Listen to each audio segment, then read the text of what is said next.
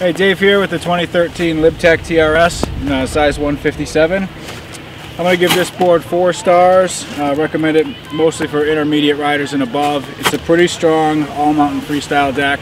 Um, my experience with it, it seems like it leans a little more towards the freestyle aspect.